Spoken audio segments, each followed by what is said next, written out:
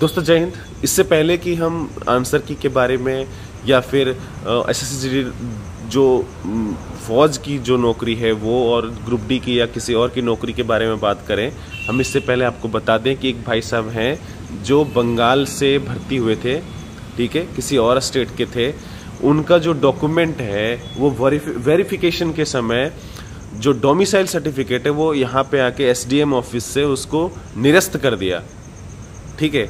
तो मैं सिर्फ़ इतना कह रहा हूँ कि ऐसे फर्जी डॉक्यूमेंट्स जो अभी नए भर्ती आएँगे ठीक है जिनकी जिनको भर्ती हो गया जो देख लिए और भर्ती देख लिए मतलब भर्ती हो गए नहीं भर्ती तो होंगे नहीं जो भर्ती देख लिए परेशान हो गए वो पर, और इस तरह के मतलब जो आसान तरीके अपनाना चाह रहे हैं जो नए लड़के हैं उनको बता रहा हूँ ऐसे फर्जी कामों के चक्कर में मत पड़ो थोड़ी सी पढ़ाई करो दुनिया भर का ऑप्शन है ठीक है।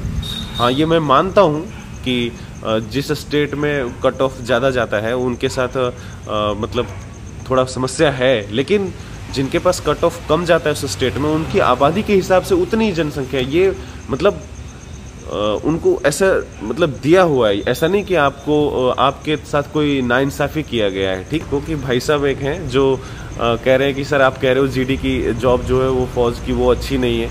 तो इसके बारे में बात करेंगे। इससे पहले आपका आंसर की के बारे में बता दूँ। आंसर की तो 30 मार्च से पहले आएगा नहीं, है ना? तो फालतू में टाइम वेस्ट मत करो। 30 मार्च तक, अभी मतलब फ़िज़िकल जो लोग एग्ज़ाम मतलब लिख चुके हैं, जिनका री एग्ज़ाम नहीं वो फ़िज़िकल में तन, मन और धन से जुड़ जाइए एकदम से, ठीक है? दूसरा कोई चॉइस नहीं है आपके पास।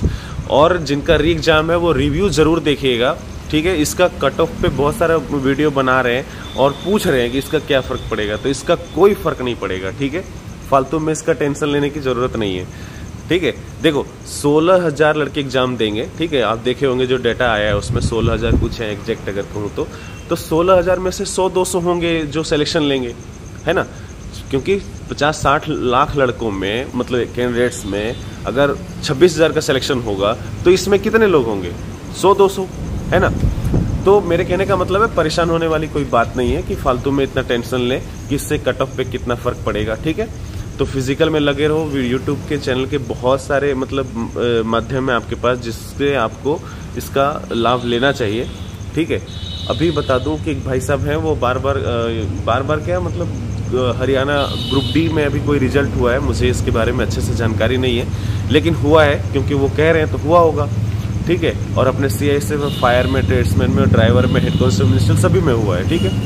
तो एफ़ ड्राइवर में उनका हुआ था इस वजह से हम पिछली वीडियो में बात किए थे कि ये अच्छा है कि अपने स्टेट में रहो ठीक है? तो कुछ कमेंट कर रहे हैं कि आप कह रहे हो कि फौज अच्छा नहीं है एस अच्छा नहीं है। तो देखो भाई साहब मैं ये नहीं कह रहा हूँ अच्छा नहीं है क्योंकि मैं अगर मैं अपने बारे में उस वीडियो में बताया था आपको कि अगर मेरे पास आ, मतलब टेरिटोरियल आर्मी का यूनिफॉर्म मिल जाता ना ग्रुप डी में रेलवे ग्रुप डी में रहते हुए तो शायद हम यहाँ ना आते ठीक है? लेकिन अगर दोबारा जैसे हम जब भर्ती हुए तब हमको ये नहीं पता था कि जो एप्लीकेशन होता है ना रेजिग्नेशन का, वो किसको लिखते हैं। तो हम अपने आरटीसी बड़वा में फ़ोन कर दिए थे। वहाँ पे एक सब इंस्पेक्टर थे, वो उठाए थे। उनको बताया अपने बारे में तो बोले, तुम क्यों छोड़ के आना चाह रहे हो? मत आओ रिजाइन मत दो, तुम आओ दो चार दिन रहो, घूमो, देखो, समझो और फिर चले जाना। ऐसे करके, ठीक है? लेकिन मैं आज फिर कहता हूँ, अगर मुझे दोबारा से मौका मिलेगा ना तो मैं दोबारा से आऊँगा। ठीक है? लेकिन मैं, देखो, अभी गलत चीज़ तो नहीं कह सकता हूँ मैं, लेकिन बहुत सारे लोग हैं जो मेरे को गालियाँ देते थे पहले ट्रेनिंग सेंटर में भी, और ट्रेनिंग सेंटर में मुझे भी बहुत एक दो महीने तक एकदम मन नहीं लगता था। क्यों बता रहा हूँ? जब भी हम गए तो वहाँ पे कन्फ्यूज़न सा रहता था कि हम अभी सही कर रहे हैं या हम चले जाएँ, वो वापस, वो सही है। तो बहुत असमंजस की ज़िंदगी थी वो, ठीक है? बहुत ज़्यादा परेशानी हो गया था। तो मेरे कहने का सिर्फ़ ये है कि डिसिप्लिन जो है ना, जैसे सुबह साढ़े तीन बजे जब उठोगे अभी ये बताओ, पूरी दुनिया जब साढ़े तीन बजे सो रही होती है मतलब दुनिया का मतलब देश, क्योंकि कहीं कहीं साढ़े तीन बजे सुबह हो जाता होगा, उनकी बात अलग है। लेकिन जब साढ़े दस बजे जब पूरी दुनिया सो रही होती है अपने देश में तो हम उठ करके क्या करते हैं? फ्रेश होते हैं, ब्रश करते हैं, यूनिफॉर्म पहनते हैं, जूता पॉलिश करते हैं, कपड़े धोते हैं मतलब दुनिया भर का काम करते हैं। और ये सारी ज़िंदगी करते हैं। आप इसको एक साल मत लगाइएगा कि सिर्फ़ ट्रेनिंग ग्यारह महीने, नहीं। ये पूरी ज़िंदगी चलती है जब तक आप सर्विस में रहोगे। ठीक है? आप इसको मेंटेन कर सकते हो तो फिर वाह, बहुत बढ़िया। और डिसिप्लिन दूसरा क्या है, जो सिविल जॉब है ना सिविल जॉब जॉब की तरह है, लेकिन फौज जो है ना बेल्ट बेल्ट की नौकरी, वो अलग ही है। ठीक है?